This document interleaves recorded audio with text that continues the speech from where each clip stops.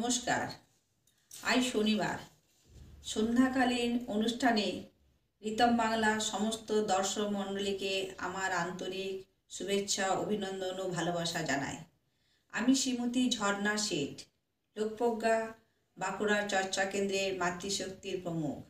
আজকের অনুষ্ঠানের পরিচালিকা। একাত্মাতা স্তোত্তমের বারো নম্বর শ্লোকটির ব্যাখ্যা মর্মার্থ সমস্ত দর্শক মণ্ডলীর কাছে তুলে ধরার চেষ্টা করব। এখন উদ্বোধন সংগীত পরিবেশন করবেন পাঁচগুড়া মহাবিদ্যালয়ের বাংলা বিভাগের বিভাগীয় প্রধান, বিশিষ্ট সংগীত লেখক ও সমাজসেবক মাননীয় ডাক্তার পার্থ সেনগুপ্ত মহাশয়।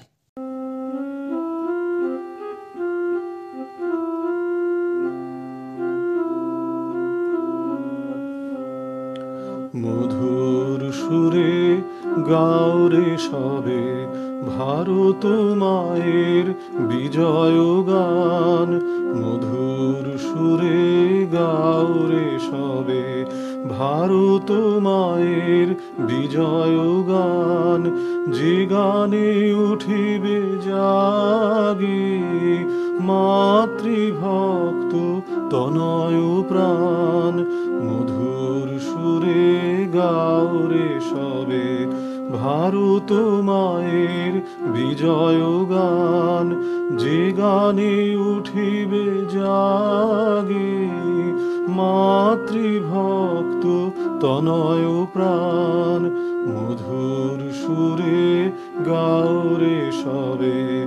ভারত মায়ের বিজয় গান।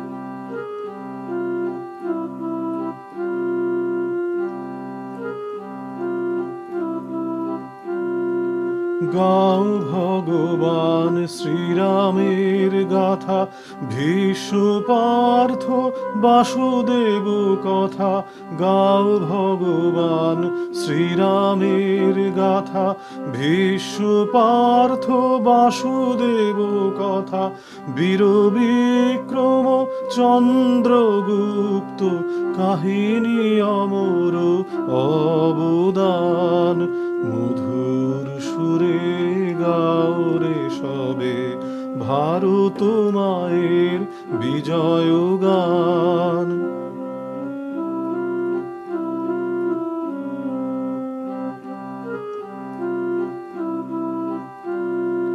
ভারত সূর্য প্রতাপ কাহিনী শিবাজির কথা বীর্যদায়িনী, ভারত সূর্য প্রতাপ কাহিনী। শিবাজির কথা বীর্যদায়িনী, বীর শশাঙ্ক মৌর্য কাহিনী। সকলেতে মিলি কররে গান, মধুর সুরে গাওরে সবে। ভারত মায়ের বিজয় গান যে গানে উঠিবে জাগি। মাতৃভক্ত তনয় প্রাণ, মধুর সুরে গাওরে সবে। ভারত মায়ের বিজয় গান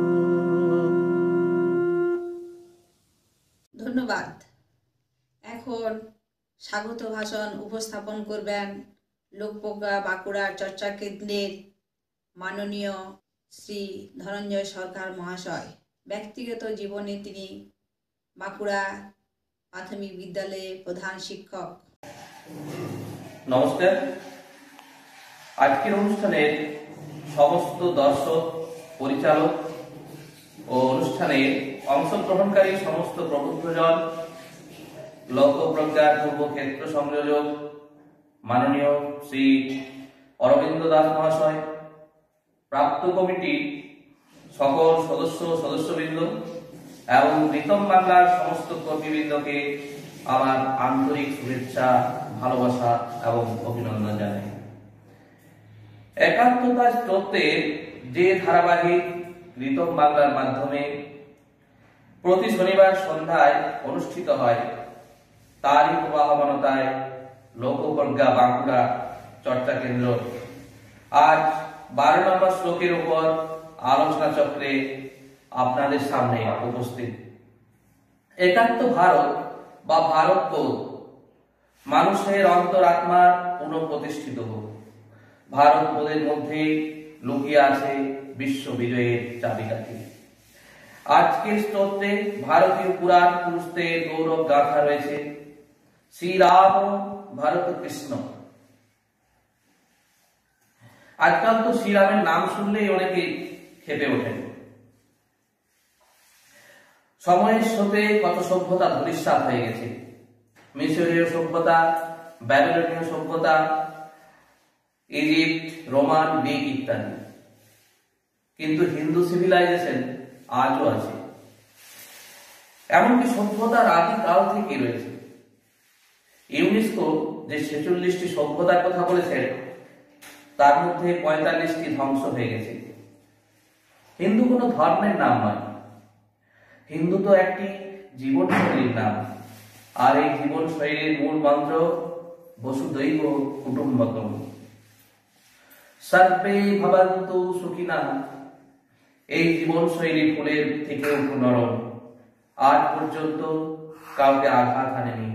কিন্তু অন্যের আঘাত হাজার হাজার বছর ধরে সহ্য করে গেছে। আমি সেই সব মহান মানুষদের গৌরব গাথা শিশিরদার মুখে শুনব। পরিশেষে লক্ষ্যপ্রজ্ঞার এই ভারত জাগরণের প্রচেষ্টাকে পুনঃনমন করি।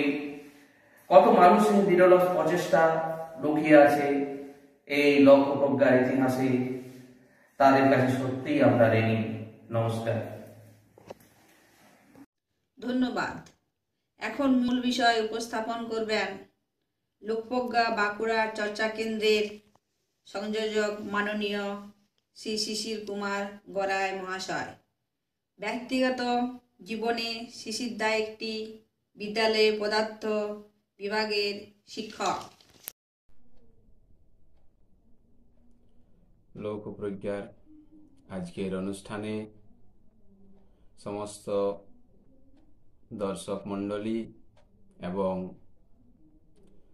লোকপ্রজ্ঞা পূর্বক্ষেত্র সংযোজক মাননীয় শ্রী অরবিন্দ দা এবং অন্যান্য সমস্ত প্রবুদ্ধ, প্রবুদ্ধজনকে আমার আন্তরিক শুভেচ্ছা, ভালোবাসা জানিয়ে আজকে আমি কিছু বলার চেষ্টা করব। একাত্মতা স্তোত্রের যে ধারাবাহিক রিতম বাংলাতে সম্প্রচারিত হচ্ছে। তার এই হাত ধরে লোক ও প্রজ্ঞা বাঁকুড়া চর্চা কেন্দ্র একাত্মতা স্তোত্রের বারো নম্বর শ্লোক। শ্রীরাম ভরত কৃষ্ণ বিশ্ব ধর্মস্তথার্জুন মার্কণ্ডেয় হরিশ্চন্দ্র প্রহ্লাদ নারদ ধ্রুব। এই শ্লোক নিয়ে আলোচনা করার চেষ্টা করব। কিন্তু এই আধুনিকতার যুগে এত বিষয় নিয়ে আলোচনা থাকতে কেন একাত্মতা স্তোত্র নিয়ে আলোচনা? লোকপ্রজ্ঞার দর্শক মণ্ডলীর মনে প্রশ্ন জাগতেই পারে। এ বিষয়ে জনপ্রিয় ও বিতর্কিত লেখিকা তসলিমা নাসরিনের একটা লেখা উল্লেখ করি। তিনি তার সাম্প্রতিক ভাবনাসূত্রে লিখেছেন, এক সময় পূর্ববঙ্গে কত প্রতিভাবান মানুষের জন্ম হয়েছে।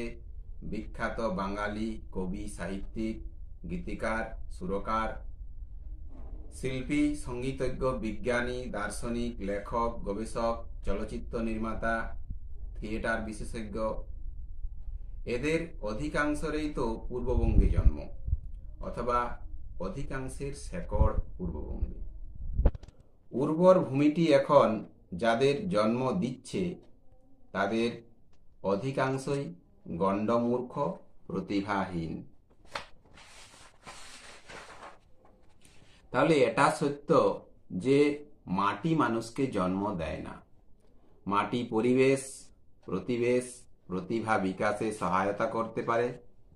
তবে শিক্ষা, সংস্কৃতি, সমাজ চেতনা ও ধর্মবোধ মানুষকে জন্ম দেয়, মানুষকে গড়ে তোলে। আর সেই ধর্মবোধ মানুষের অন্তরাত্মায় পুনঃ প্রতিষ্ঠা করার লক্ষ্যেই এই ধারাবাহিক আলোচনা। রামচন্দ্র, ভরত, কৃষ্ণ, ভীষ্ম, অর্জুন বা আরও যে সমস্ত নাম আজকের শ্লোকের মধ্যে রয়েছে, এনারা সকলেই সাধারণ মানুষ ছিলেন না এনারা সকলেই যোগী ছিলেন। যোগীর দেশ ভারতবর্ষ। সনাতন ধর্মের মেরুদণ্ডই হল যোগ। যোগ ব্যতিরেকে সনাতন ধর্মকে জানা যায় না এবং সনাতন ধর্মকে না জানলে আধ্যাত্ম ভারতকে জানা যায় না। তাই আধ্যাত্ম ভারতকে জানতে হলে প্রথমে ভারতের যোগীদের জানতে হবে এবং যোগীদের জানতে হলে তাদের প্রদর্শিত পথ অনুসরণ করতে হবে। তাই ভগবান শ্রীকৃষ্ণ তার প্রিয় সখা অর্জুনের মধ্য দিয়ে সকল মানব জাতিকে উপদেশ দিলেন যোগী হওয়ার। তিনি শোনালেন, তপস্বী, জ্ঞানী কর্মী সকলের অপেক্ষায় যোগী শ্রেষ্ঠ। সেই সনাতন ভারতবর্ষের মানুষ যদি ভারতীয় যোগীদের না জানেন এবং তাদের প্রদর্শিত পথ অনুসরণ না করেন, তাহলে বুঝতে হবে জন্মসূত্রে ভারতীয় হলেও তাকে প্রকৃত ভারতীয় বলা যায় না। যোগ ছাড়া ভারত নেই, ভারত ছাড়া যোগ নেই। বিশ্বের দরবারে ভারতের যে পরিচয়, তা যোগের মাধ্যমেই ভারতের পরিচয়। প্রাচীন যে যোগশাস্ত্র, তার মধ্যেই ভারতের গৌরব, ঐতিহ্য, সমস্ত কিছু বিশ্বের কাছে মহান করে তুলেছে। তাই আজকের যে আলোচনা, আজকের আলোচনা একটু জটিল হলেও আমি তাকে যথাসাধ্য সহজ করার চেষ্টা করব আমার সীমিত জ্ঞান দিয়ে এবং দর্শক মণ্ডলীর কাছে আমি অনুরোধ রাখব। মনোযোগ সহকারে আজকের আলোচনা অনুভব করুন। মনোযোগ না থাকলে কিন্তু এই আলোচনা শ্রুতিমধুর বা বোধগম্য হওয়া একটু কঠিন হবে। এই যে শ্রীরাম আজকের বারো নাম্বার যে শ্লোক শ্রীরাম ভরত কৃষ্ণ ভীষ্ম ধর্ম তথার্জুন মার্কেন্ডেয় হরিশ্চন্দ্র প্রহ্লাদ নারদ ধ্রুব। শ্রীরামচন্দ্র ভরত কৃষ্ণ ভীষ্ম, এই সমস্ত যে নাম এখানে রয়েছে, এগুলো সব রূপক অর্থে। আমরা যদি ধরে নিই যে এই সমস্ত কাহিনী, গল্প, কিন্তু এর যে একটা রূপক, একটা যৌগিক দিক এর মধ্যে রয়েছে এবং সেটা অনুভব করা যায়, গল্প নয়। এটা আপনি যদি নিজের জীবনে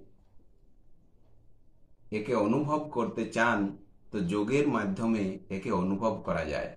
আমরা যে গল্পের আকারে এগুলো বলে থাকি, মহাভারত, রামায়ণ বা গীতা, এগুলো মনে হতে পারে কিছু কিছু মানুষ মনে করেন যে এগুলো নিছক গল্প মাত্র কিন্তু তা নয়।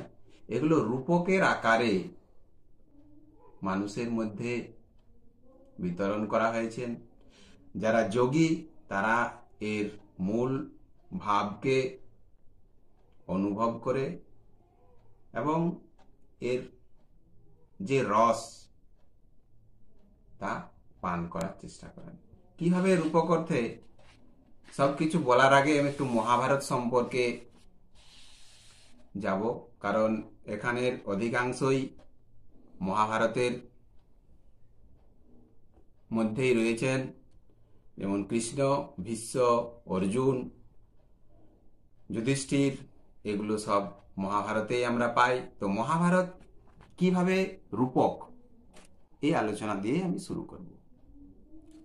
দেখুন, মহর্ষি পরাশর কঠোর তপস্যার শেষে যখন তীর্থ পর্যটন করছিলেন, তখন যমুনার তীরে দাস রাজার কন্যা সত্যবতীকে দেখে হঠাৎ কাম জর্জরিত হয়ে পড়লেন। স্থান, কাল, পাত্র ভুলে তিনি সত্যবতীকে সম্ভোগ করার ইচ্ছা প্রকাশ করলেন। চারিদিকে লোকজন। তখন সত্যবতী জানালেন যে, আমার লজ্জা করবে এত লোকজনের মধ্যে। তখন ঋষি কি বলছেন? বলছেন, কোনো চিন্তা নেই। যোগ বলে আমি কুজ্জ কুজ্জটিকা সৃষ্টি করছি। সত্যবতী তখন আবার বায়না তুললেন, আমি জেলের মেয়ে। আমার গায়ে মাছের গন্ধ, আপনি সে দুর্গন্ধ সহ্য করবেন কি করে? তখন ঋষি আবার বললেন, আমার বরে তোমার সারা শরীর পদ্মের সুগন্ধে ভরে উঠবে।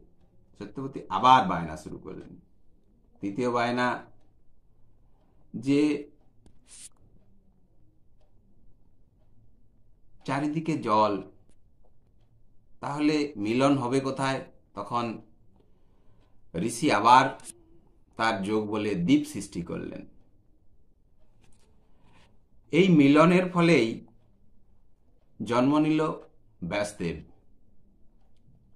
দ্বীপে জন্ম হয়েছিল বলেই এর নাম, আরেক নাম দৈপ্যায়ন এই যে জন্ম বৃত্তান্ত দৈপ্যায়নের যে জন্ম বৃত্তান্ত এটাই একটা রূপক। সাধারণভাবে আপনি যদি চিন্তা করেন, যে ঋষি যোগ বলে দ্বীপ সৃষ্টি করতে পারে, কুজ্জটিকা কুয়াশা সৃষ্টি সৃষ্টি করতে পারে, মাছের গন্ধ, গায়ের, গা থেকে মাছের দুর্গন্ধ, পদ্মের গন্ধ তৈরি করতে পারে, সেই ঋষি সামান্য কামে বসীভূত। তিনি কামকে জয় করতে পারলেন না, এটা কি করে সম্ভব? আবার দেখুন, ব্যাসদেব, যাকে আমরা বিশাল বুদ্ধি বলি, মনে করি, স্বয়ং ব্রহ্মা যাকে তত্ত্বজ্ঞানীদের মধ্যে শ্রেষ্ঠ বলেছেন, তিনি আবার কীরকম পুত্র? যে বাবার, বাবা অর্থাৎ পরাশরের এই কাহিনী তিনি ঘটা করে আবার মহাভারতে লিখতে শুরু করলেন। সাধারণত আমরা কি করি? বাবার যদি কোনো কিছু সেরকম কর্ম থাকে, যেগুলো লোকচক্ষু তে লজ্জাশীল, সেগুলো আমরা প্রকাশ করি না। কিন্তু ব্যাসদেব কি করছেন? বাবার এই কাহিনী, সম্ভোগের কাহিনী মহাভারতে লিখছেন। এটা কি করে সম্ভব? যে কোনো সাধারণ লোক পিতার দোষ থাকলে সেটা গোপন করার চেষ্টা করে, কিন্তু উনি তা করেননি। তাহলে এটা নিশ্চয়ই এর মধ্যে কিছু রূপক অর্থে ব্যবহার করা হয়েছে। যৌগিক অর্থ যদি আমরা গ্রহণ করি, তাহলে এই ধাঁধা সমাধান করা যাবে। ব্যাস জননী সত্যবতী ছিলেন দাস রাজের কন্যা। তার পিতার নাম উপরিচর।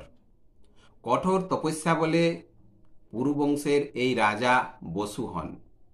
তার রাজধানীর নাম চেদিরাজ। রাজধানীর কাছে শক্তিমতী নামে একটি নদী ছিল। কোলাহল নামে এক সচেতন পর্বত কামান্ধ হয়ে এক স্রোতস্বতী সম্ভোগ বিলাসী হওয়ায় রাজা তার মস্তকে পদাঘাত করেন। পর্বত পদাঘাতে দ্বিখণ্ডিত হয়। উক্ত নদীর গর্ভে কোলাহলের এক পুত্র ও এক কন্যার জন্ম হয়। কন্যার নাম গিরিবালা। উপরিচর গিরিবালাকে বিবাহ করেন। গিরিবালাই ছিলেন সত্যবতীর মাতা। জন্মের পরেই সত্যবতী পরিত্যক্ত হন। ধীবর রাজা তাকে পালন করেন। উপরিচরকে? উপরিচর উ ঊর্ধ্ব, ঊর্ধ্বং পরিপরিত বিচরিত জ, স উপরিচর। দেহের উপরিভাগ থেকে, যা কেশ থেকে নখাগ্র পর্যন্ত পরিত, অর্থাৎ সর্বত্র যা পরিব্যক্ত, সেই প্রাণ চৈতন্যই উপরিচর। তার রাজধানী চেদি। চিত শব্দেরই রূপান্তর। উপনিষদে বিশ্বকে বলেছেন চিদ জড়ের গ্রন্থি। চিদ বা প্রাণ চৈতন্য যদি উপরিচর হন, তাহলে গিরিবালা হলেন জড়শক্তি। চিত বা চিতিসত্তা জড়ের মধ্যে এমন অন্তচ্চারী অবস্থায় থাকে যে জড়কেই মানুষ দেখে চিত শক্তিকে দেখে না। তাহলে তাকে জড় বলেই ভ্রম করেন। ভ্রমের অপর নাম শক্তি। তাই গল্পটিতে উপরিচরের রাজধানী রাজধানীর সন্নিকটবর্তী নদীটির নাম শক্তিমতী ভ্রম অন্ধকার তুল্য। কোলাং জাড্ডং অহলায়তি। অর্থাৎ জাড্য অর্থাৎ নিথর জড়শক্তি, যখন উদ্ভিন্ন হয়ে নদীর অর্থাৎ গতি বা বেগের সঙ্গে মিলিত হয়, সেই জড়ের বুকে জাগে প্রাণের স্ফুরণ। স্পরশমণির স্পর্শে লোহা যেমন শোনা হয়, তেমনি প্রাণ ও চৈতন্যের সঙ্গমের জড়ের এরও চিন্ময়ত্ব ঘটে। জড়ের বুকে এই চিতির বোধনেই জীবের নাম, জীবের নবজন্মান্তর। রূপকের ভাষায় সত্যের এই উন্মেষ অবস্থায় সত্যবতী। ঊর্ধ্বগামী চিৎধারা, অর্থাৎ উপরিচর। তাই সত্যবতীর পিতা। সাধনার পথে জীবের চিৎধারাটি ঊর্ধ্বমুখী হয়েছে। কিন্তু তখনও সম্পূর্ণত নামরূপ উপাধি বিনিমুক্ত দুর্লভ অবস্থাটি লাভ হয়নি। দেহের ঘাটে ঘাটে দেহাত্ম বুদ্ধির নিম্নতর ভূমিতে এই যে স্থিতি, এটাই হলো ধীবরের গৃহে সত্যবতীর বাস। তাই সত্যবতী দাসরাজের পালিত কন্যা। একটি মৎস্যের পেটে তাকে পাওয়া যায়, এর রূপকটি কিসের ইঙ্গিত দেয়? আমরা যতক্ষণ না আত্মজ্ঞান লাভ করি, ততক্ষণ আমরা দেহ সর্বস্ব থাকি। জীবের এই দেহ সর্বস্ব অবস্থায় মদলিপ্ত মৎস্যাভাব এই অবস্থায়, অর্থাৎ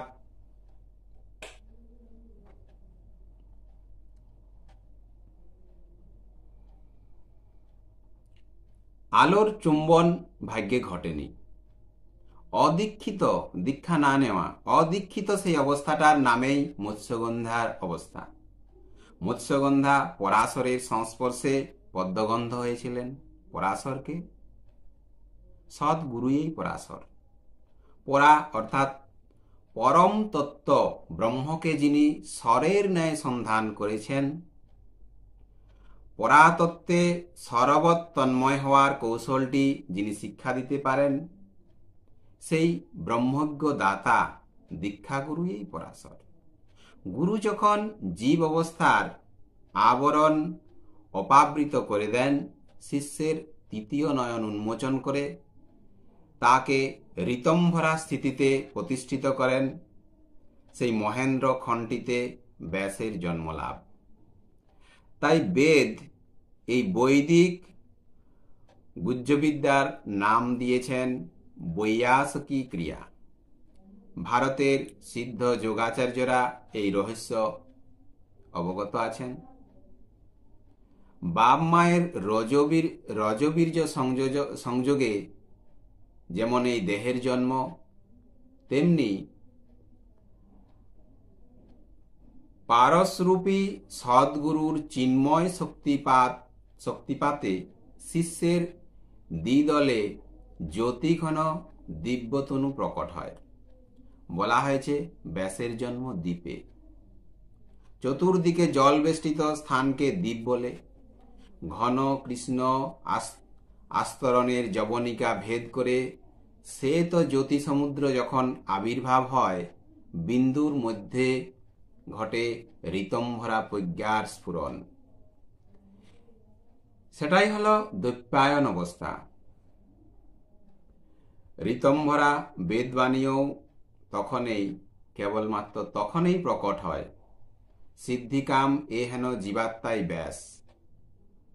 তখন তিনি বিশাল বুদ্ধি। শাস্ত্র বারবার বলেছেন, আমাদের যে শ্বাস প্রশ্বাস তা হল আসলে প্রাণ চৈতন্যের গ্রস ম্যানুফ্যাকচারেশন দ্বারা আত্মচৈতন্যের গ্রস ম্যানুফ্যাকচারাইজেশনকে প্রাণ চৈতন্যে বা লাইফ কারেন্টে প্রকাশ। এইভাবে যোজন গন্ধা অর্থাৎ যোগ সূত্র থাকার ফলে আমাদের বিনা চেষ্টাতেই নিয়ত শ্বাস প্রশ্বাসের ক্রিয়া চলছে। এই যে অবিরাম জপক্রিয়া, না জপলেও এই জপক্রিয়া চলে। তাই অজপাও বলা হয়।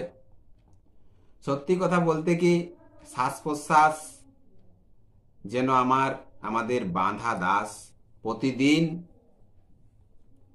অনুমতির অপেক্ষা না করেই তারা তাদের কার্য বা আমার দাসত্ব করে চলেছেন।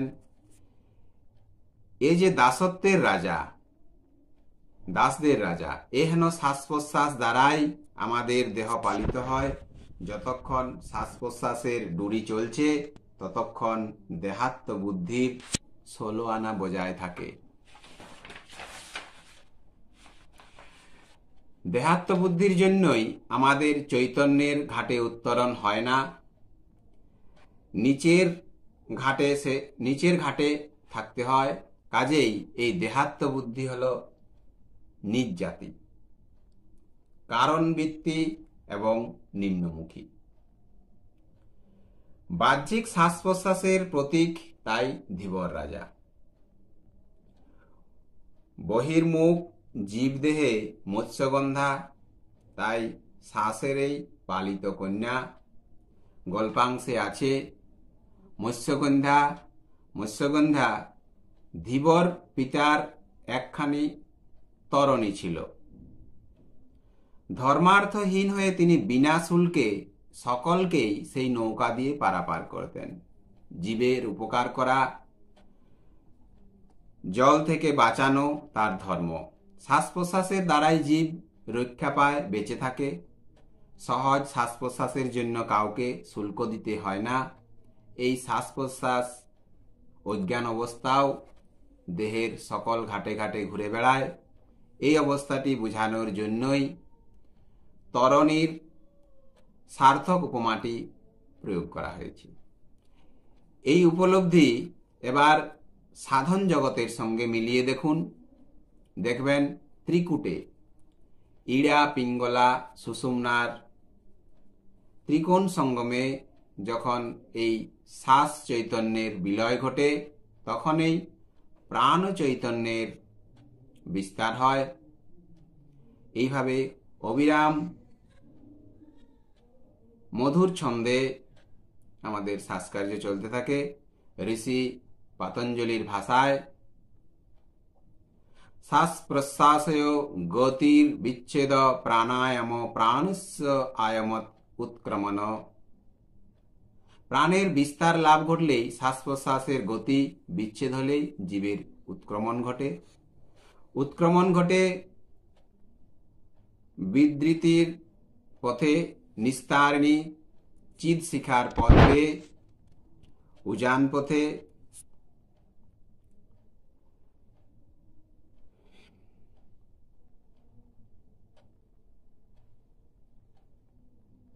তাই অবিরাম ছন্দে এই যে অবি, এই শব্দটির মধ্যে তিনটি অক্ষর, আ, বি, র, আ যুক্ত বি যুক্ত র।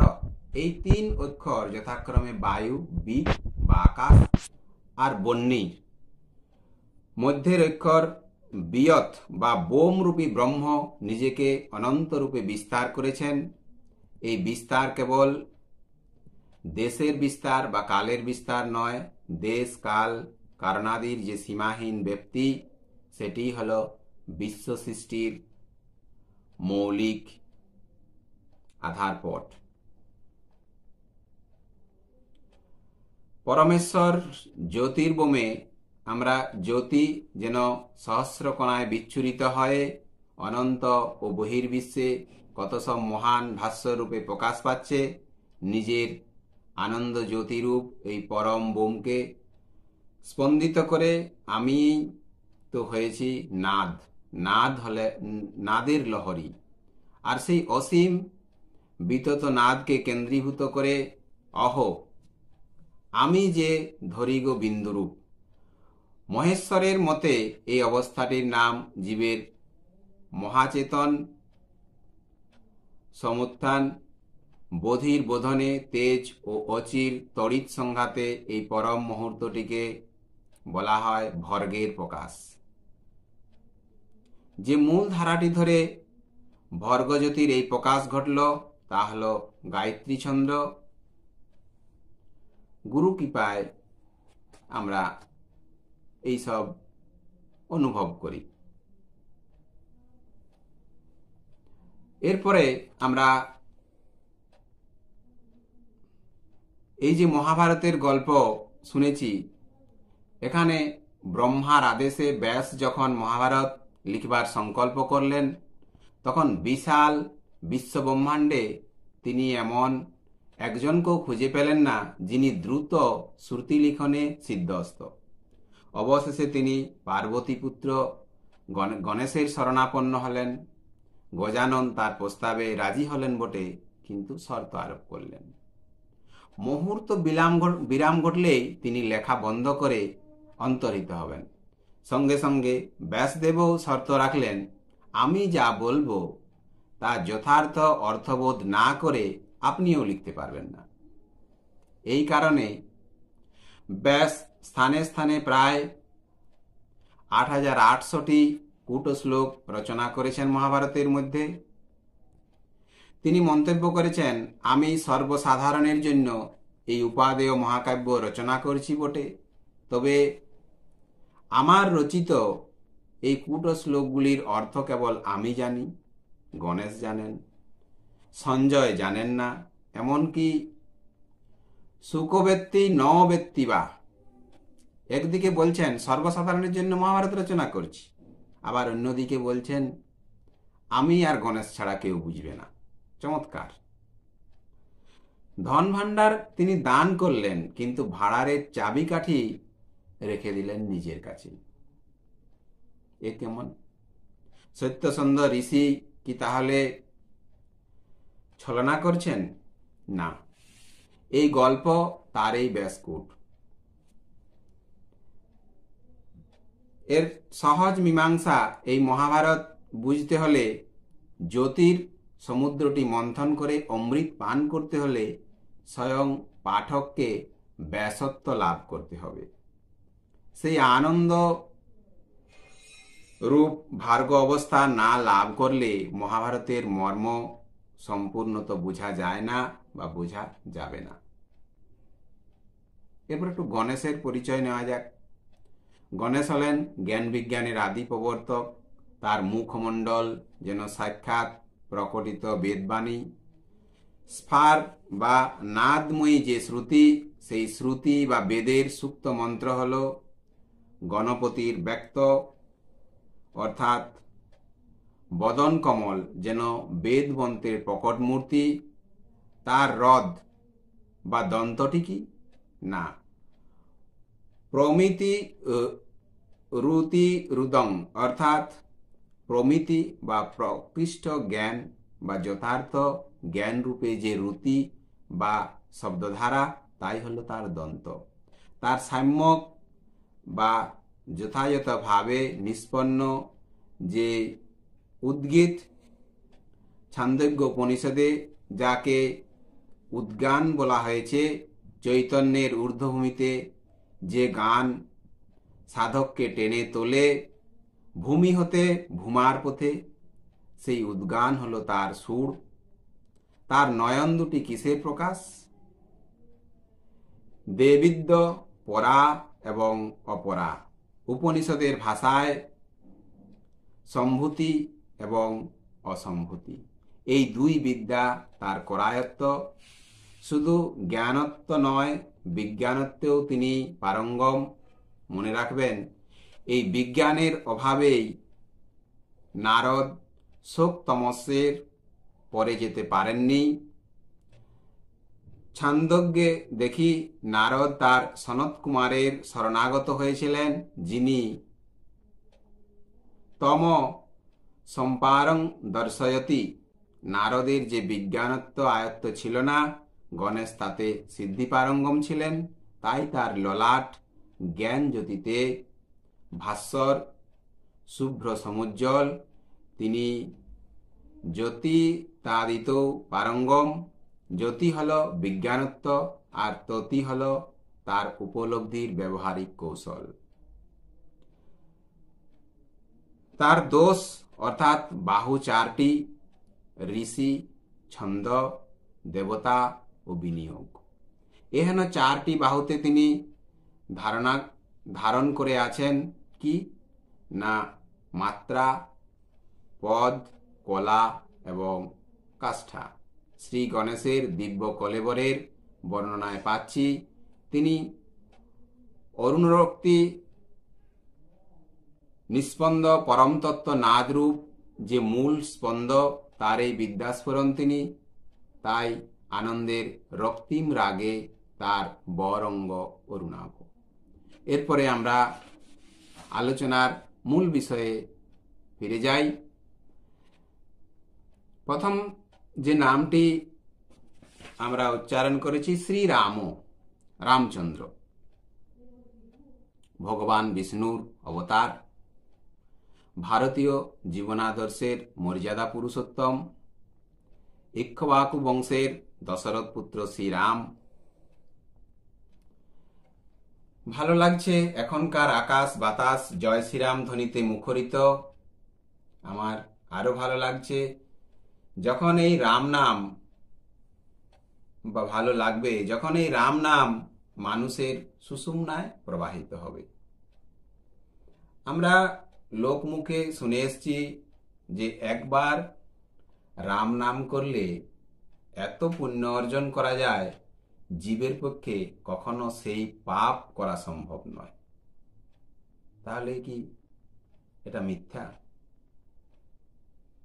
কিন্তু যোগের ভাষায় যদি আমরা যাই, তাহলে বোঝা যাবে যে সত্যই একবার রাম নাম উচ্চারণ করলে এত পাপ করা সম্ভব নয় যে পরিমাণ পুণ্য অর্জন করা যায়। এটাও কিন্তু একটা ব্যাসকুট এটাও রূপকের মোড়কে মোড়া। এবার দেখুন বাল্মীকি যখন রামায়ণ রচনা করেন, তার আগে দস্যু রত্নাকর ছিলেন। এত পাপ তিনি করেছিলেন যে রাম নাম উচ্চারণ করা যেত না। এটা কি সম্ভব? সত্য, তেতা, দাপর, এখন কলিযুগ। আমরা বলি কলিযুগেই সব থেকে পাপ বেশি। এখন আমরা হাজার হাজার মানুষকেও যদি হত্যা করি নিজ হাতে তাও কি উচ্চারণ করতে পারব না? রাম নাম। তিনি মরা মরা করতেন। তার মানে এটাও একটা ধান্দা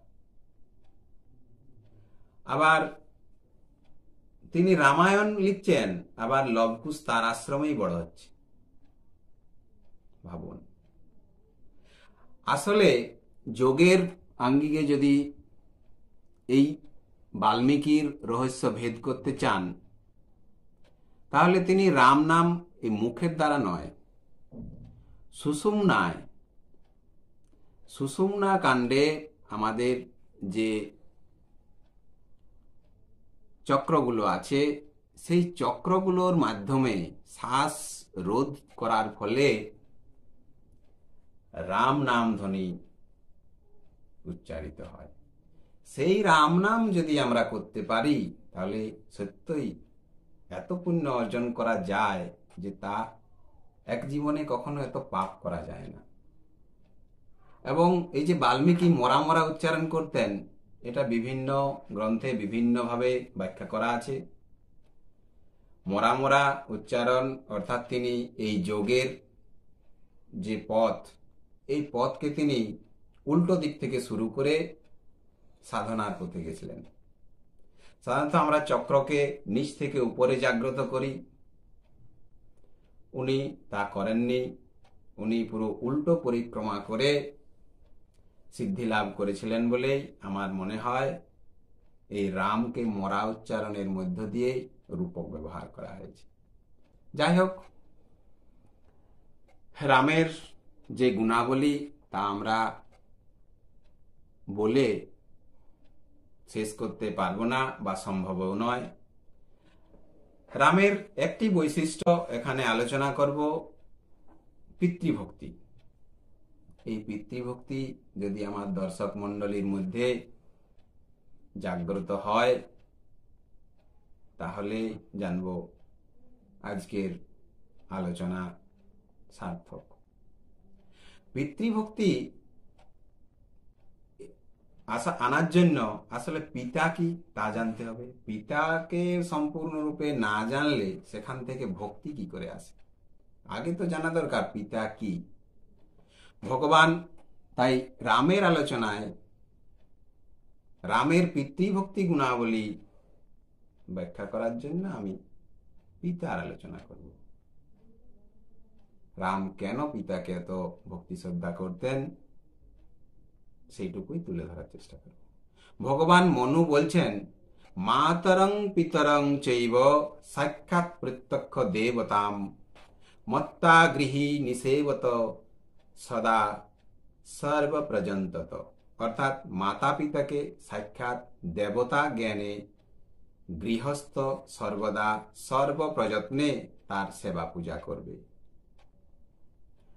শুক্লা যজুর্বেদে বাদসেনীয় সংহিতায় দ্বিতীয় অধ্যায়ের একত্রিশ নম্বর কণ্ডিকাতে বলা হয়েছে, ওং অত্র পিতর মাদধ্যায়ং যথা ভগমা বৃষধ্যায়ম অমিমদন্ত পিতর যথা ভাগমা ঘৃষত হে পরমারাধ্য পিতৃদেব তথা পিতৃপুরুষগণ তোমরা আমার হৃদয়ে যথোপযুক্ত ভক্তি সুদা গ্রহণ করে তৃপ্ত হও এবং পুরুষার্থরূপ অভীষ্ট বর্ষণ করো। প্রাচীন শৈবাগম দর্শনের বর্ণাভিধানং কামধেনুতন্ত্র, বর্ণোদ্ধারতন্ত্র, এইসব বর্ণের ধ্যান প্রণালী বা স্বরূপ ব্যাখ্যা করা হয়েছে। পারক্ষণে এই ধাতু হতে পিতা পদ সিদ্ধ হয়। য পাতি সর্বান স পিতা, অর্থাৎ যিনি সকলের রক্ষক, সেই পরমেশ্বরের অপর নাম পিতা। স্থূল জগতে পিতাই শিব। পিতাই শিব, অর্থাৎ শিব এবং পিতা, এই শব্দ দুটি যে অভিন্ন, তাকে যদি একটু বিশ্লেষণ করি, তা বোঝা যাবে। শিব। স তালেবস্য যুক্ত রসই যুক্ত ব ব, অ, ব, যুক্ত অ। প্রাচীন মন্ত্রদ্রষ্টা ঋষিগণ এই তালেবস্যকে শিব বলে আরাধনা করে। ইনি মূর্তিমান, সক্ষ, সুখস্বরূপ, কুমার, কুত, কুৎসিত মারয়তি জ মানুষের যা কিছু কুৎসিত ও কদর্যবৃত্তি তা ধ্বংস করে। ইনি তার মধ্যে সুন্দরমকে জাগ্রত করেন। সেই সঙ্গে জীবের সদৈব মঙ্গল চিন্তা করেন। রস্বই কিসের প্রতীক? রস্বইকারের অর্থ গতি। সংস্কৃতে ই ধাতুর অর্থ গমন করা। এতি মানে গচ্ছতি। গত্যার্থক ই ধাতুর শক্তিদত্ত প্রতীক। অর্থাৎ এখানে শক্তির স্পন্দন, ক্রিয়াশীল, ঋষিদের উপলব্ধি, এই গতি যদি ঊর্ধ্বমুখী হয়, এবং বর্ণের বাম দিকে থাকে রসই, বর্ণ, তাহলে সিদ্ধ কালী অর্থাৎ জগতের পরমা ক্রিয়া শক্তিতে পরিণত হয়। অর্থাৎ এখানে তালে বস্য শিব শিব তালে বস্যযুক্ত রসই মিলে থাকায়, মিলিত থাকায় পরম পুরুষের সঙ্গে পরমা ক্রিয়া শক্তির সংযোগ, অর্থাৎ শিব শিবানী, অর্থাৎ অর্ধনারীশ্বর। এবার ব, শিব, ব ব যুক্ত অ, ব। ত্রিভুজের মতো, ব ত্রিভুজের মতো। ব্রাহ্মণরা পূজার নৈবেদ্য নৈবেদ্য নিবেদনকালে জল দিয়ে বয়ের উপর ভোগপাত্র বসান। তারা এটিকে আধার শক্তি বা চৈতন্য শক্তি দ্বারা এই বিশ্ব ব্রহ্মাণ্ড বিদ্যিত বলে মনে করেন। ত্রিভুজের মতো যে ব, তা আধার শক্তির বরণীয় বিভু, আর অ হচ্ছে অনন্ত। তাহলে শিব হল অনন্ত ক্রিয়াশক্তি, অনন্ত সৌন্দর্য, অনন্ত আনন্দ, অনন্ত মঙ্গলময়। শিব তাহলে সহজ ভাষায় যদি বলতে চাই, তাহলে অবশ্য সৌন্দর্য মঙ্গলের প্রতীক, রস্যই গতির প্রতীক, আর ব আধার শক্তির, অনন্ত আধার শক্তির প্রতীক। একইভাবে আমরা যদি পিতা শব্দকে বিশ্লেষণ করি, পিতা, প যুক্ত রসই যুক্ত ত যুক্ত আ। পয়ের স্বরূপ ব্যাখ্যা করতে গিয়ে শিব শৈবাগম দর্শনে দর্শনের উপদেষ্টা দুর্বাসাকে বলেছেন চতুর্বর্গং প্রদ বর্ণং পকারং হি তপোধন শরৎচন্দ্র প্রতিকাংশ বাৎসল্য রস সিঞ্চিতং ব্রহ্মা বিষ্ণু তথা শিব ক্রমশস্থানুতিষ্ঠতি অর্থাৎ যেসব রেখা টেনে প লেখা হয়, সেগুলির মধ্যে তাসু, ব্রহ্মা, বিষ্ণু, শিবের বাৎসল্য রস ও শক্তি নিহিত আছে। এই অক্ষরের স্বরূপ জানতে হলে চতুর্বর্গ লাভ হয়। ব্রহ্মা সৃষ্টিকর্তা, বিষ্ণু পালনকর্তা, শিব সদৈব মঙ্গলময় সত্তা, শিব শব্দের অর্থই মঙ্গল, তাই পিতার মধ্যে এই তিন গুণেই বর্তমান। আর রস্যই তো আগেই বর্ণনা করেছি, পরম ক্রিয়া শক্তি অর্থাৎ মাতৃশক্তি মাতা পিতা মাতা পিতার সঙ্গেই যুক্ত থাকেন। আর ত ত যুক্ত আহ পিতা। ত বর্ণের আকার, ত বর্ণে আকার দিলে সেটি মঙ্গলময়, শিবেরই রূপ প্রকাশ পায়। তাহলে দেখা যাচ্ছে, শিব ও পিতা দুটি শব্দই সমার্থক, দুজনেই সমান। পিতা অসীম পিতা অসীম শিবের সসীম রূপ। ঘটাকাশ, গুহাকাশ এবং মহাকাশ। যেমন কোনো স্বরূপত প্রভেদ নেই, একই আকাশে ঘট ও গৃহের সীমায়িত স্থানে আবদ্ধ থাকায় ঘটাকাশ ও গৃহাকাশ সংজ্ঞা দেওয়া হয় মাত্র। ঘট বা গৃহ ভগ্ন করলে যেমন একই আকাশ থাকে, তেমনি অমর্ত্য শিব যখন মর্ত শরীরের আবেষ্টনীতে থাকে, আমাদের সামনে ঘুরে বেড়ান, তখন আমরা তাকে পিতা বলি। এরপর যোগের ভাষায় রাম, কথাকে যদি আমরা ভাঙি, তাহলে আসে শ্রীরাম, শ্রী অর্থাৎ সুন্দর, রাম অর্থাৎ কুটস্থ, আত্মারাম। এটা আমরা এই কুটস্থ কথাটা পরে আবার বিশ্লেষণ করব। এরপরে আছে, শ্রীরাম ভরত কৃষ্ণ, ভরত।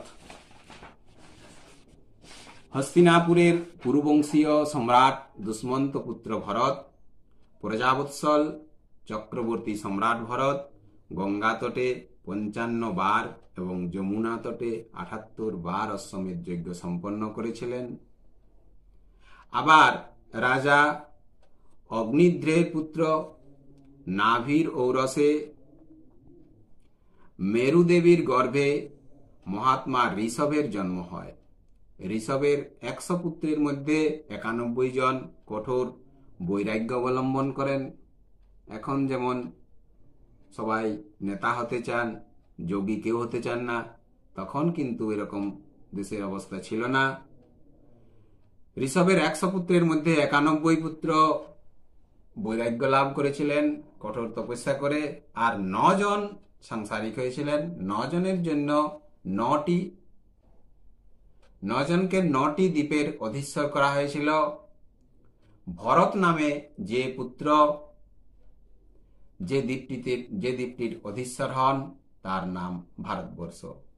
কিন্তু আমরা সাতটি দ্বীপের কথাই জানি। সাতটি দ্বীপের মধ্যে হলো জম্মুদ্বীপ শাকদ্বীপ পুষ্করদ্বীপ কৃষ্ণদ্বীপ লক্ষাদ্বীপ, ক্রঞ্চদ্বীপ আর শালবল্য দ্বীপ আবার এই জম্মুদ্বীপের সাতটি উপদ্বীপ। ভরত ক্ষেত্র হেমন্তবত্ত ক্ষেত্র রম্ভক্ষেত্র হরিক্ষেত্র হিরণ্যবর্ত ক্ষেত্র বিদেহ ক্ষেত্র ইরাবত ক্ষেত্র আপনারা যারা পূজা পাঠ করেন, তারা শুনে থাকবেন একটা মন্ত্রের কথা, জম্মু দ্বীপে আর যাবর্তে ভারতখণ্ডে।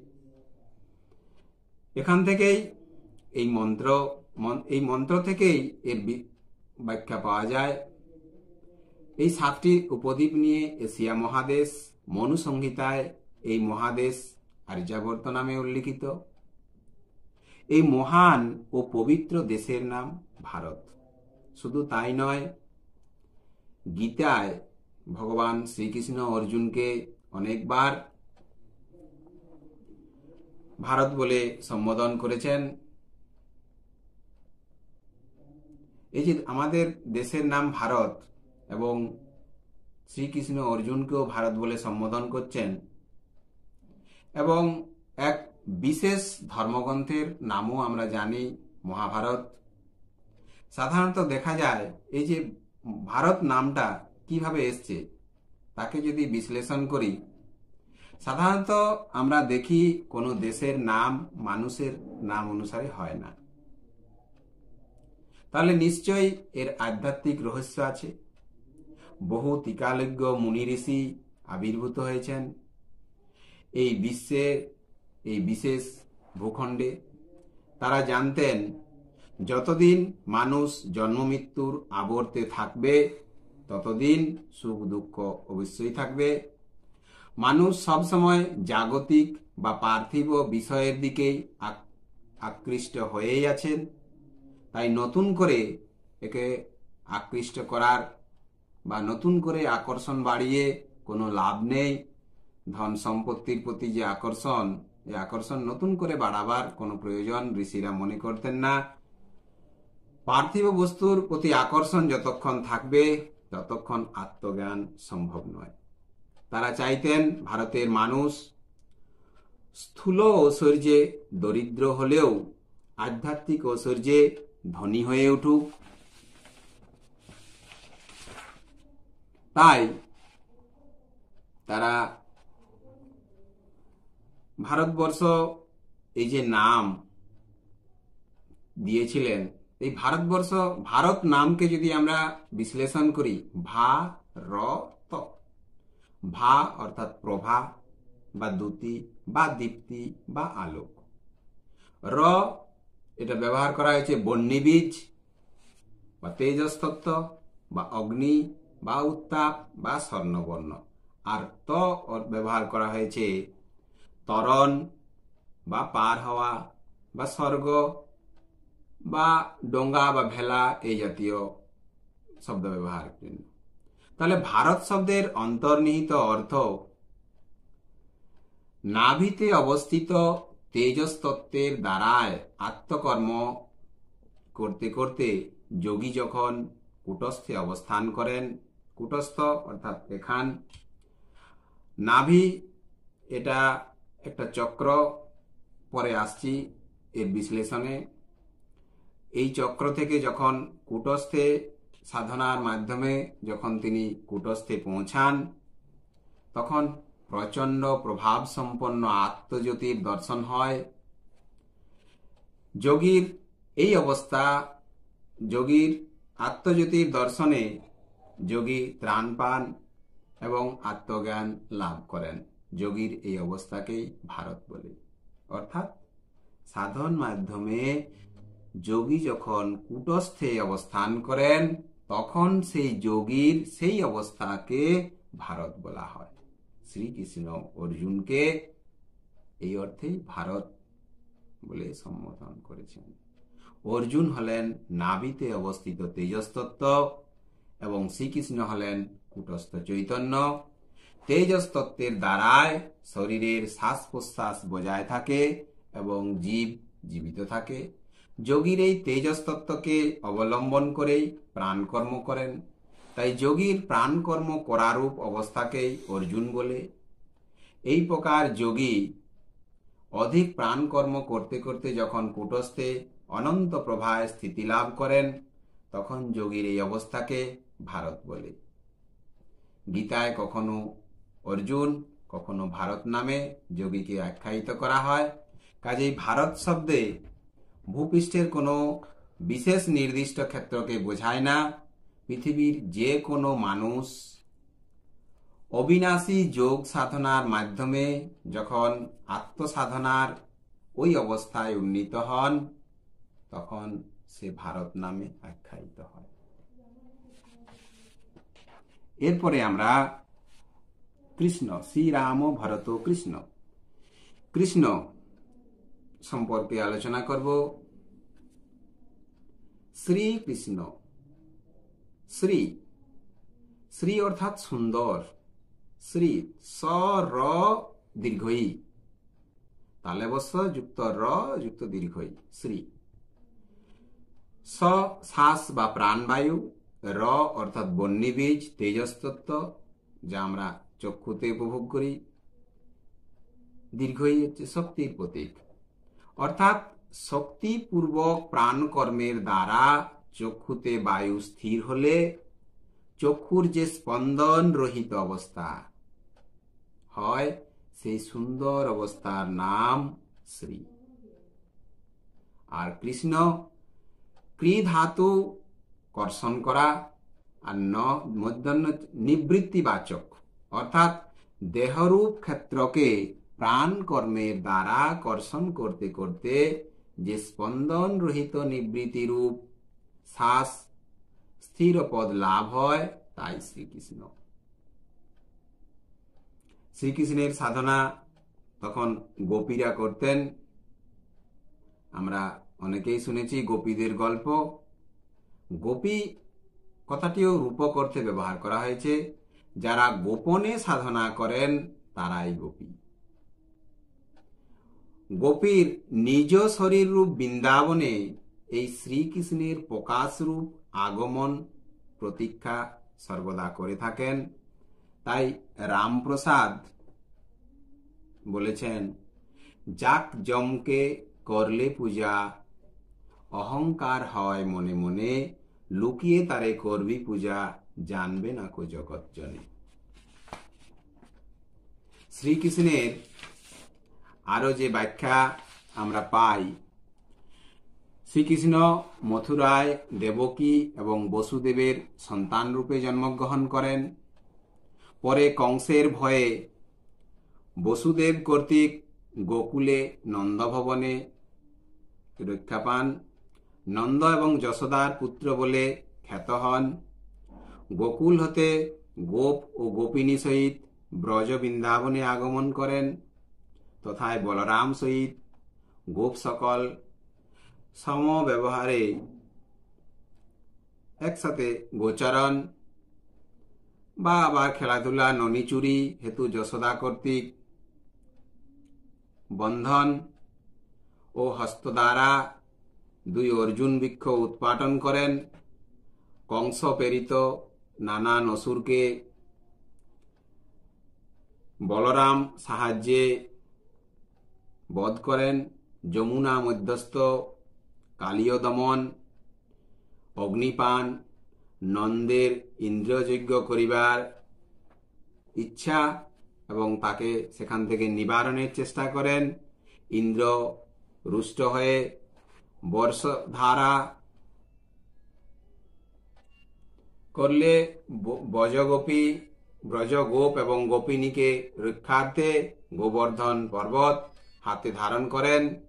শৈশাবস্থায় দুই পদ দিয়া একখানি খাট উল্টাইয়া ফেলা, পুতুনাকে স্তনপান দ্বারা বধ করা, বেনুরবে ব্রহ্মাদি দেবগণ থেকে স্থাবর জঙ্গম, সমস্ত পদার্থই সমাহিত বশীভূত ও নতকরণ এমনকি পরস্ত্রী সকলকেও নিশাকালে গৃহত্যাগে ও নিজ স্বামী থেকে পুত্র পরিজন ত্যাগ করে তাদের বস্ত্রহরণ, পূর্ণিমার রাসক্রিয়া তাদের সহিত ভিন্ন ভিন্ন কৃষ্ণ হয়ে রমন এবং পরে বলরাম সহ মথুরায় গিয়ে মত্তহস্তি, চানুর, মুষ্টিক, অন্যান্য অসুর এবং পরে কংসবধ ও দ্বারকাপুরী নির্মাণ এসব গল্প আপনারা সকলেই শুনেছেন। এগুলোও কিন্তু এক একটি রূপক অর্থে ব্যবহার করা হয়েছে। শ্রীকৃষ্ণ আগেই বললাম, কুটস্থ, মথুরা রূপক অর্থে ব্যবহার করা হয়েছে। মস্তক, দেবকী শরীর, বসুদেব আত্মা, কংস মায়া, গোকুল হলেন কণ্ঠমূলে জিহার অবস্থান, নন্দভাব স্থিতিপদ যশোদা, যশ থেকে স্থিতিলাভ ব্রজ, অর্থাৎ চলিয়া যাওয়া, বৃন্দাবন, কুটস্থের মধ্যে বনাদি দেখা, বলরাম বলপূর্বক বায়ুতে টান। হ্যাঁ ননিচুরি চন্দ্রলোক চন্দ্রকুটস্থে মিলে যাওয়া, বন্ধন, উৎকুল, এগুলো মস্তক এই যে রূপক, এগুলো বিশ্লেষণ করলে দীর্ঘ সময় ব্যয় হবে। সেই অর্থে আর এগুলো বিশ্লেষণ করছি না। এরপরে আমরা চলে যাব পরবর্তী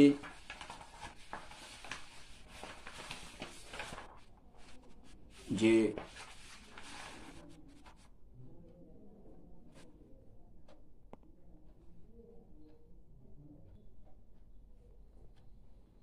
এরপর আমরা ভীষ্ম, অর্জুন, যুধিষ্ঠির, এ নিয়ে একটু আলোকপাত করার চেষ্টা করব গীতার মাধ্যমে।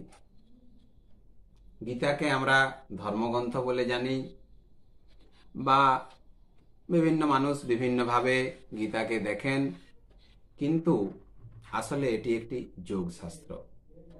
প্রাচীন মুনি ঋষিরা কীভাবে যোগ সাধনা করতেন তার বর্ণনা আমরা এই গ্রন্থে পাই।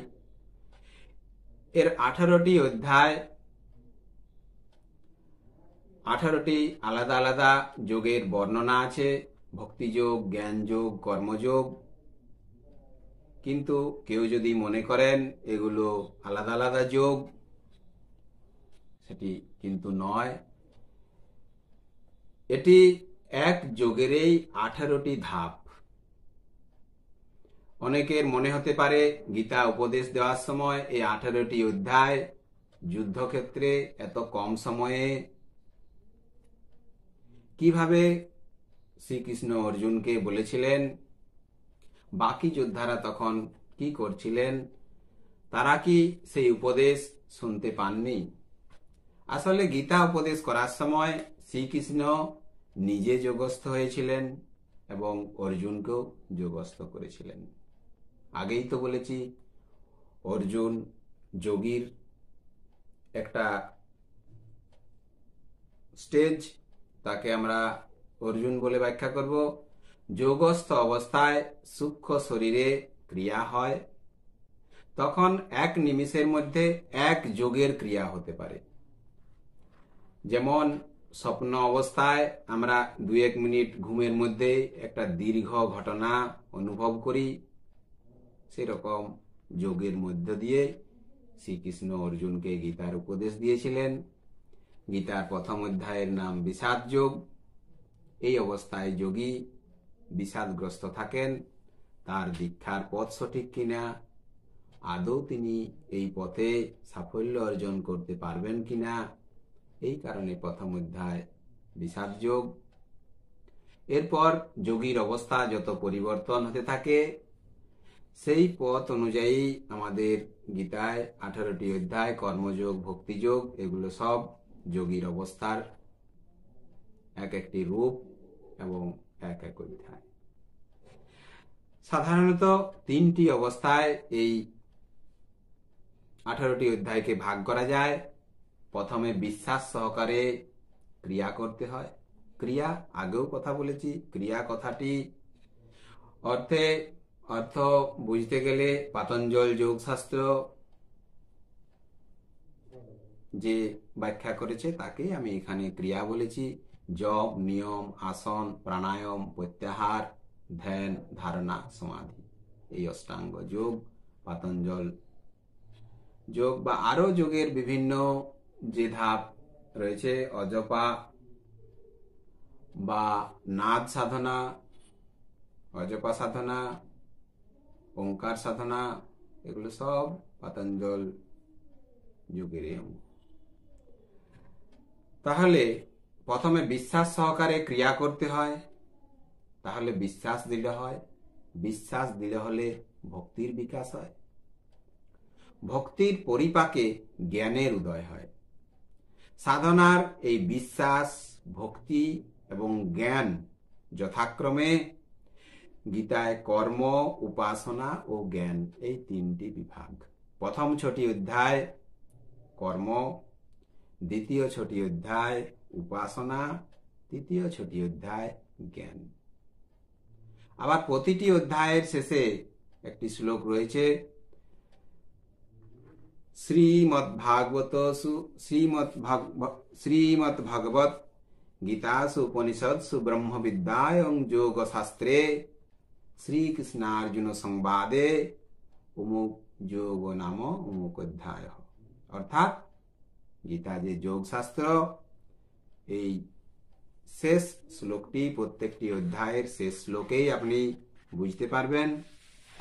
এবং এই যে যোগ, এটাকে আমরা যদি বিশ্লেষণ করি, স্বামী বিবেকানন্দর যে পাতঞ্জল যোগ নিয়ে স্বামী বিবেকানন্দের নিজের একটি লেখা বই রয়েছে।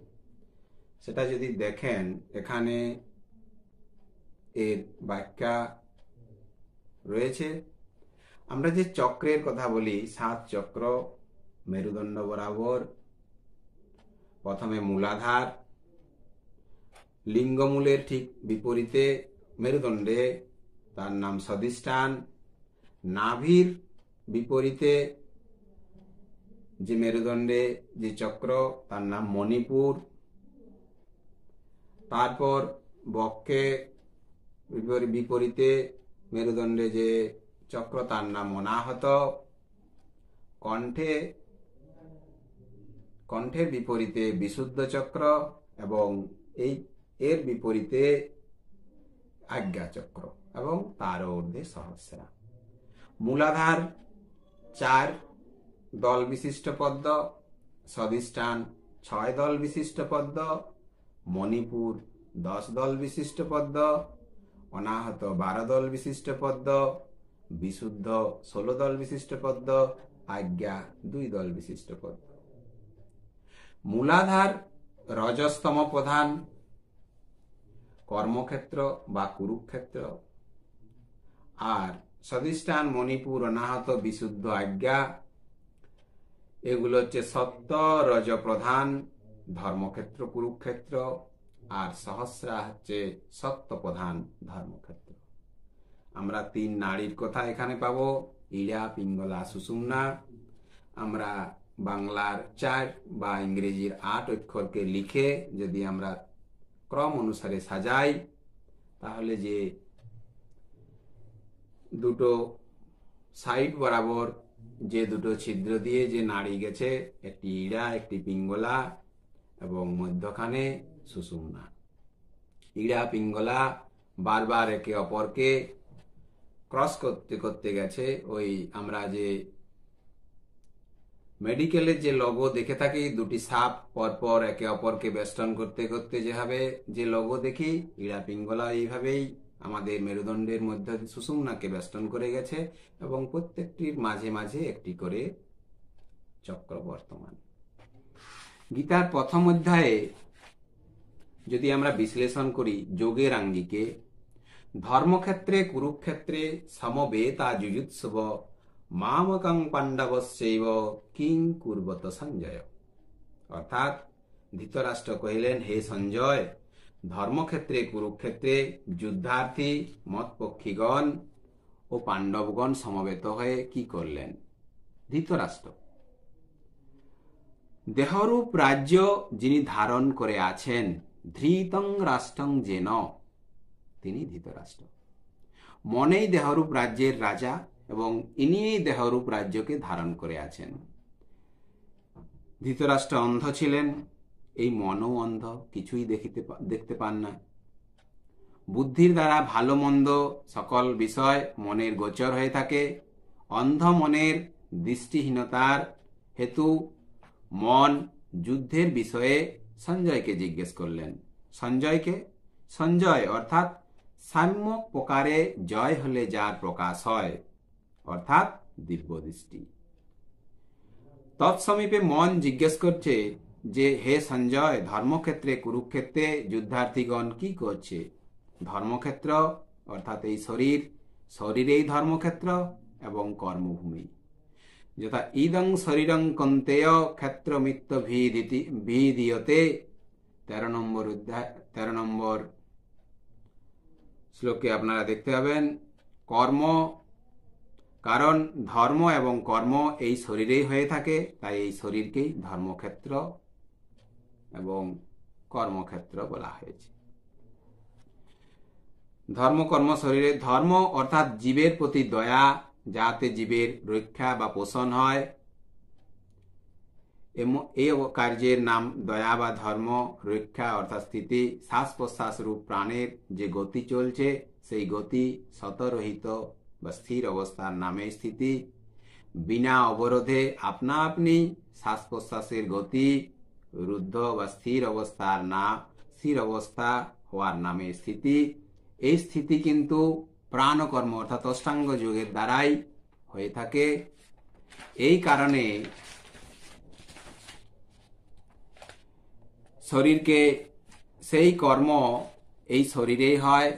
এই কারণে শরীরকে ধর্মক্ষেত্র এবং প্রাণ কর্মের কর্মভূমি বলে কুরুক্ষেত্র বলা হয়েছে। এই শরীর রূপ ক্ষেত্রে যুদ্ধার্থী মনের পক্ষীগণ, অর্থাৎ ইন্দ্রিয়গণ, যেহেতু ইন্দ্রিয়গণকে মন নিজের আপন বলে বোধ করে, তাই বাক, পানি, পাদ, বায়ু এবং উপস্থ এই পঞ্চস্থান কর্মেন্দ্রিয় চক্ষু, কর্ণ, জিহ্বা, নাসিকা, ত্বক, এই পাঁচ জ্ঞানেন্দ্রিয়, এই সমুদায়ে দশ ইন্দ্রিয়। এই দশ ইন্দ্রিয়, অর্থাৎ বাক, পানি পাদ বায়ু উপস্থ চক্ষু, কর্ণ, নাসিকা, জিহ্বা, ত্বক, এই দশ ইন্দ্রিয় দশ দিক বরাবর গমন করতে পারেন। দশ ইন্টু দশ, অর্থাৎ একশো। ধৃতরাষ্ট্রের শতপুত্রের কথা আমরা জানি, ধৃতরাষ্ট্র অন্ধ মনও অন্ধ তাহলে মনের বশীভূত যে ইন্দ্রিয়গণ, এরও কিন্তু একশো পুত্র রূপ করতে এটাই ব্যবহার করা হয়েছে। পাণ্ডবগণ, অর্থাৎ ক্ষিতি, অপ, তেজ, মরুদ, বোম, এই পঞ্চতত্ত্ব পঞ্চপাণ্ডব, এরা সব দেবলোক হতে সৃষ্টি। এটাও এখানে আমরা দেখতে পাই।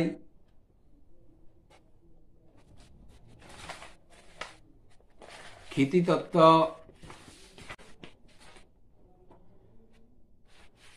ক্ষিতি অপতেজ মরুদ্বোম এই যে পঞ্চতত্ত্ব, ক্ষিতিতত্ত্ব হচ্ছেন সহদেব, ক্ষিতি অর্থাৎ মৃত্তিকা পিতৃতত্ত্ব অর্থাৎ মাংস। এই হেতু সহদেব বৈদিক শাস্ত্রে প্রবীণ ছিলেন বলে উল্লেখ আছে। বৈদিক শাস্ত্রের বস্তু আদি মৃত্তিকাতেই উৎপন্ন হয়। এবং আমরা যদি আজ্ঞাচক্রে আমরা যদি ছয় চক্রে দেখে থাকি, তাহলে মূলাধার চক্রই ক্ষিতিতত্ত্বের প্রধান। এরপরে আছে অপ, অর্থাৎ জল, রক্ত। জল তত্ত্ব হচ্ছে নকুল, কারণ নকুল জলেরই নকুল, কু, নকুল, অর্থাৎ কুল জলেরই পাওয়া যায় না।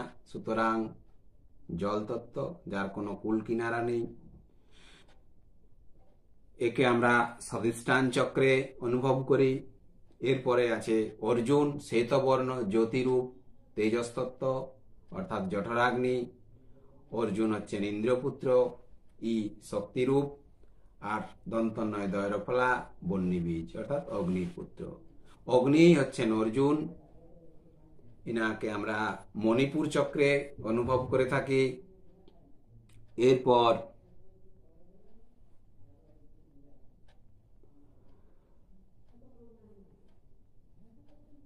বায়ু মরুত, অর্থাৎ বায়ু তত্ত্ব যাকে আমরা প্রাণবায়ু বলি। এই প্রাণবায়ু ভীম কারণ ভীম পবনপুত্র ছিলেন। একে আমরা অনাহত চক্রে অনুভব করি। এরপর বোম, অর্থাৎ আকাশ চক্র অর্থাৎ বিশুদ্ধ আখ্যা চক্রস্থিত শূন্য, ইনি এই যুধিষ্ঠির। যুধিষ্ঠির হলেন ধর্মপুত্র, যা হতে জীবের পোষণ হয়, সেই স্থিতি অবস্থারূপ ধর্ম, অর্থাৎ আজ্ঞা চক্রের ঊর্ধ্বস্থিত মহাকাশ রূপ মহাপ্রাণ বোম রূপী যুধিষ্ঠির উৎপত্তি। যেহেতু যুধিষ্ঠির সশরীরে স্বর্গে গেছিলেন অর্থাৎ আকাশ তত্ত্ব মহাকাশ তত্ত্বে লয় পেয়েছিল। এই পঞ্চতত্ত্বরূপ পঞ্চপাণ্ডব নিবৃত্তি পক্ষ এরা চাইছেন আত্মরাজ্য স্থাপন করার, অর্থাৎ আধ্যাত্মিক জ্ঞান অর্জন। আর কৌরব পক্ষ মনের অন্ধ, ধৃতরাষ্ট্ররূপ অন্ধ, যে মন, তার যে দশ পুত্র, এই শতপুত্র বা দশ ইন্দ্রিয়ের দশ দিক চালনা করার যে শক্তি, দশ ইন্টু দশ শতপুত্র, এরা কৌরব পক্ষ আমরা দেখি যোগী যখন মূলাধার চক্র সফল হন সাধনার মাধ্যমে, তারপর সদিষ্ঠান, তারপর মণিপুর, তারপর অনাহত, বিশুদ্ধ আজ্ঞা। আমরা রূপ করতে ওখানেও মহাভারত দেখে থাকি যে যুধিষ্ঠির সশরীরে স্বর্গে গেছিলেন, অর্থাৎ এই মূলাধার মূলাধার চক্র সদিষ্ঠান চক্রে মিলিত হয়। সদিষ্ঠান চক্র মণিপুর চক্রে, মণিপুর চক্র অনাহত অনাহত চক্র বিশুদ্ধ চক্রে এবং বিশুদ্ধ চক্র আজ্ঞা চক্রে মিলিত হয়। আর আজ্ঞা চক্র তো বলা হলো যে মহাকাশ, তাহলে মহাকাশ তত্ত্ব মহাকাশেই মিলিন, বিলীন হয়। তাই আমরা বলে থাকি যে যুধিষ্ঠির সশরীরে স্বর্গে গেছিলেন। এরপরে আমরা দ্বিতীয় অধ্যায়ে দেখে থাকি, সঞ্জয় সঞ্জয় কি? সাম্যক প্রকার জয় হলে যার প্রকাশ হয়, সেই দিব্য দৃষ্টিকে সঞ্জয় বলি। দিব্য দৃষ্টি দ্বারা মনের নিকট ব্যক্ত হচ্ছে, অর্থাৎ মনের গোচর করার চেষ্টা করা হচ্ছে। পঞ্চ পাণ্ডবের যে কাহিনী আমরা, পঞ্চপাণ্ডব রূপক যে ব্যবহার করা হয়েছে, তার আলোচনা করলাম। দ্রোণাচার্য দ্রোণাচার্য কে? না দ্রোণাচার্য হলেন জেদ। তিনি গুরু। ইনি উভয় পক্ষের এই গুরু। আমরা জেদের দ্বারা জেদ করে ভালো কাজেও করতে পারি, আবার জেদ করে মন্দ কাজেও করতে পারি। তাই জেদ কৌরব পক্ষেরও গুরু, জেদ পাণ্ডব পক্ষেরও গুরু। অর্থাৎ জেদ রূপী গুরুর সমীপে পাণ্ডবগণ, কৌরবগণ শিক্ষা লাভ করেছিলেন। এরপর আমরা যদি বিভিন্ন অধ্যায়কে বিভিন্ন শ্লোক বিশ্লেষণ করি, আমরা দেখতে পাবো যে এখানে যোগ, যোগেই ব্যাখ্যা করা হয়েছে। এখানে আমরা ভীষ্ম ভীষ্মের যে আলোচনা করছি ভীষ্ম ভীষ্ম অর্থাৎ ভয়। ভয় কর্তৃক রক্ষিত সৈন্যগণ যুদ্ধে অসমর্থ, কিন্তু ভীম, অর্থাৎ বায়ু বা প্রাণবায়ু, তৎকর্তৃক রক্ষিত পঞ্চতত্ত্বের দলের সৈন্যগণ যুদ্ধে সমর্থ। বিশ্বকে ভয়ের রূপক অর্থে ব্যবহার করা হয়েছে সাধন সমরে। সাধন সমরে প্রাণবায়ু কার্য আরম্ভ হলে ভয় কতক্ষণ থাকতে পারে? ওই প্রাণবায়ুর দ্বারা ভয় সহজেই তিরোহিত হয়, অর্থাৎ ভীষ্ম কর্তৃক রক্ষিত সৈন্যগণ যুদ্ধে অসমর্থ হন এবং পাণ্ডব পক্ষ জয়লাভ করেন, অর্থাৎ আত্মরাজ্য স্থাপন হয়। আবার চতুর্থ অধ্যায়েও আমরা দেখে থাকি যোগের, আমরা কীভাবে যোগ করব, সে অপানে জুহতি প্রাণং। এই শ্লোকের মাধ্যমে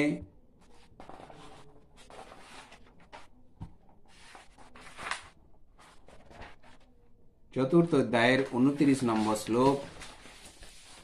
অপানে জুহতি প্রাণং প্রাণেহ পান তথা পরে প্রাণোৎপ্রাণ গতিরুদ্ধা প্রাণায়াম পরায়ণে। অপরে নিয়তাহারং প্রাণায়া প্রাণায়াম প্রাণেষু জুহতি। অর্থাৎ আমাদের যে উনপঞ্চাশ বায়ু শরীরের মধ্যে রয়েছে উনপঞ্চাশ বায়ু কিন্তু উনপঞ্চাশ অক্ষরের প্রতীক। সংস্কৃতে যে অ, আ, ক, খ, এই অক্ষরের প্রতীক হিসাবে ব্যবহার করা হয়। এর মধ্যে প্রাণবায়ু এবং অপান বায়ুর যে কার্যকলাপ, সেটা এই শ্লোকে ব্যাখ্যা করা হয়েছে। অপান বায়ু এবং প্রাণবায়ুকে হোম করার কথা বলা হয়েছে।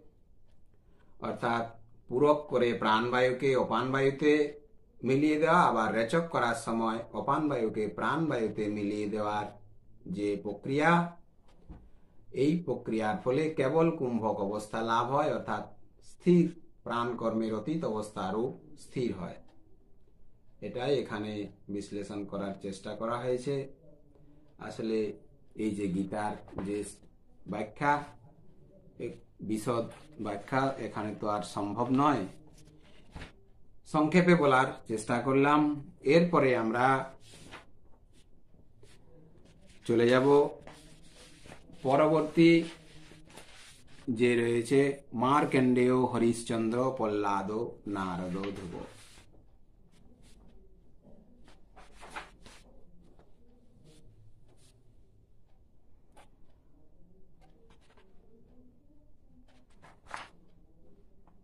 মার্কণ্ডেয় ঋষি ছিলেন মৃগন্ধ এবং মৃগন্ধ ঋষি এবং তার পত্নী মরুদ্বতী ভৃগুকুলের এনারা শিবের উপাসক ছিলেন। কোনো পুত্র সন্তান না থাকায় শিবের কাছে বর, শিবের সাধনায় সিদ্ধি লাভ করার ফলে শিব তাদেরকে বর দান করেন যে তোমরা অল্প আয়ুযুক্ত বুদ্ধিমান পুত্র চাও না দীর্ঘ আয়ু? কম বুদ্ধি সম্পন্ন পুত্র চাও। তখন মৃগন্ধ মরুদ্বতী কম আয়ুর বুদ্ধিমান পুত্রই চেয়েছিলেন। তার ফলে মার্কেন্ডেয় ঋষির জন্ম হয়। মার্কেন্ডেয় ঋষি ষোলো বছর মাত্র আয়ু ছিল।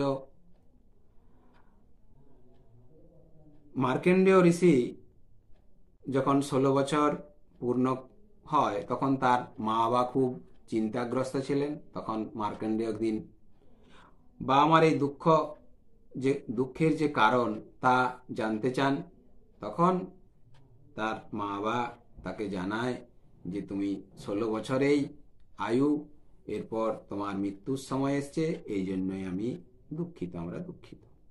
তখন মার্কেন্ডেয় গৃহ ত্যাগ করে মা বাবার দুঃখকে নিবারণ করার জন্য শিবের কঠোর সাধনা করেন এবং সাধনার ফলে তিনি শিবের এই সাধনার ফলে তিনি মহামৃত্যুঞ্জয় মন্ত্রের যে সৃষ্টিকর্তা মার্কেন্ডেয় ঋষি, ওম ত্রিয়ম্বকম যজামহে সুগন্ধিম পুষ্টির বর্ধনাম, উর্বারক বন্দনাথ মৃত্যুর মক্ষিয়মামৃতাম এই মৃত্যুঞ্জয় মন্ত্রের মন্ত্রদ্রষ্টা ঋষি মার্কেন্ডেয় তিনি তার দীর্ঘ জীবন লাভ করেছিলেন সাধনার মধ্য দিয়ে।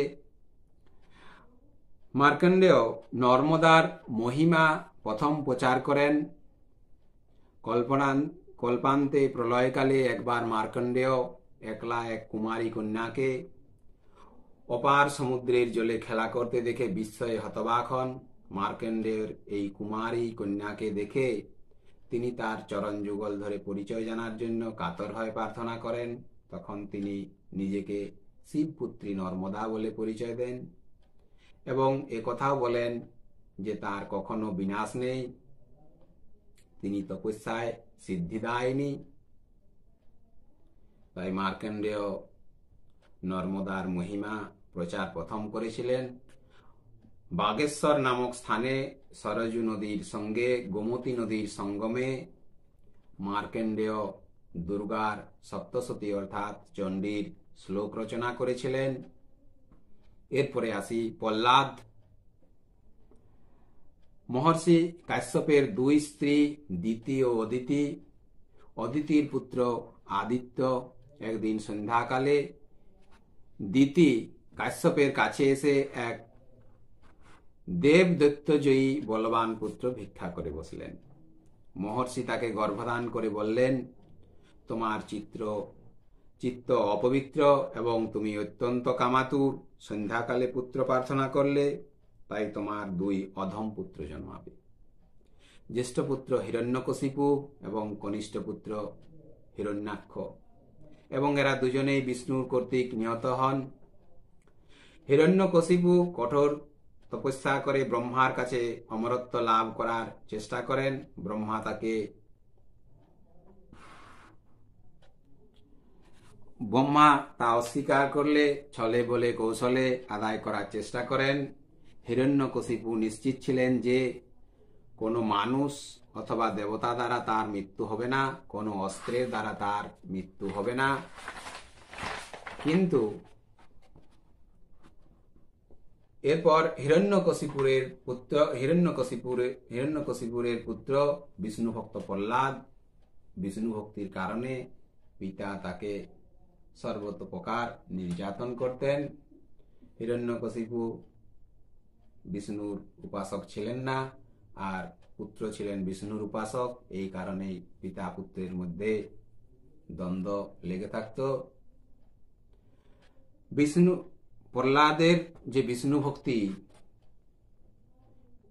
সর্বং খলবিদং ব্রহ্ম নেহ নাস্তি কিঞ্চিত যেখানে যা দেখছেন সব কিছুই ব্রহ্ম, তিনি ছাড়া কেউ নেই, কোনো কিছুই নেই। প্রহ্লাদ যখন বললেন, একটা পিলারের মধ্যেও বিষ্ণুর অবস্থান, তখন হিরণ্যকশিপু পা দিয়ে সেই পিলার লাত মেরে ভেঙে ফেলার চেষ্টা করেন। আপনারা সকলেই জানেন তারপর সেই পিলার থেকে অর্ধমানব অর্ধসিংহ নৃসিংহ রূপ আবির্ভাব হয় এবং হিরণ্যকশিপুরের হিরণ্যকশিপুরকে উরুতে রেখে নখ দিয়ে বধ করেন। হিরণ্যকশিপুর তো কোনো অস্ত্রের দ্বারা বধ হওয়ার ছিল না। কোনো মানুষ বা কোনো দেবতা তাকে বধ করতে পারার কথাও ছিল না। কিন্তু নৃসিংহ না মানুষ, না দেবতা অর্ধেক মানুষ, অর্ধেক সিংহ এবং তাকে নখের দ্বারা বধ করেন। এই অপার ভক্তি, বিষ্ণু ভক্তি এর জন্য প্রহ্লাদ আমাদের কাছে স্মরণীয়।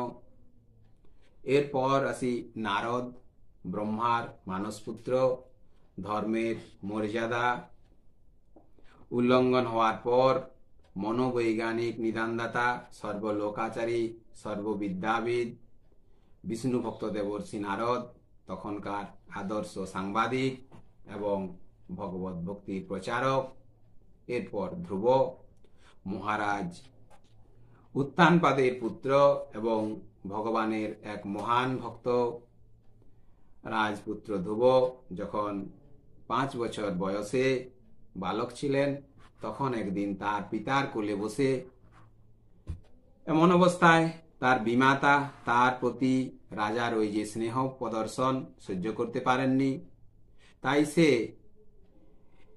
এই বলে তাকে রাজার কোল থেকে নামিয়ে দেন যে সে তার গর্ভে জন্মগ্রহণ করেননি, ফলে রাজার কোল তার অধিকার নয়।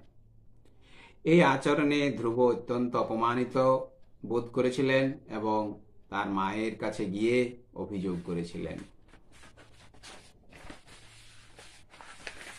কিন্তু তার মা প্রতিকার করতে সক্ষম হলেন না। বালক ধ্রুব তখন তার মাকে জিজ্ঞেস করেছিলেন, কীভাবে তিনি তার পিতার সিংহাসনের থেকে উচ্চ পদে অধিষ্ঠান অধিষ্ঠান করতে পারবেন? দক্ষিণী রানী তখন উত্তর দিয়েছিলেন যে, ভগবানই কেবল তার সে আশা পূর্ণ করতে পারে। এরপর ভগবানের সন্ধানে গভীর অরণ্যে কঠোর তপস্যা করেছিলেন নারদ মুনি। নারদ তাকে ওং নম ভগবতে বাসুদেবায় মন্ত্রে দীক্ষা দেন, তপস্যায় সিদ্ধি লাভ করেন রাজকুমার ধ্রুব এবং সপ্তর্ষি মণ্ডলের ঊর্ধ্বে ধ্রুবলোক লাভ করেছিলেন। এই যে ভগবত ভক্তির দৃষ্টান্ত, ধ্রুবের মধ্যে আমরা পাই। তাই এই শ্লোকের মধ্যে উল্লেখ করা হয়েছে, আর একজন রাজা হরিশ্চন্দ্র, তিনি যে সত্যের প্রসারক, সত্যকে তিনি কখনো অস্বীকার করেননি। সেই গল্প আমরা সকলেই জানি।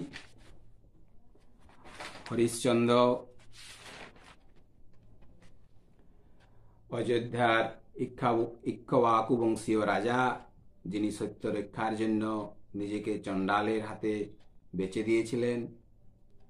বশিষ্ঠ ঋষির কাছে হরিশ্চন্দ্রের সত্যব্রতের প্রশংসা শুনে ঈর্ষান্বিত হয়ে সত্যব্রতের কঠিন পরীক্ষা নিয়েছিলেন।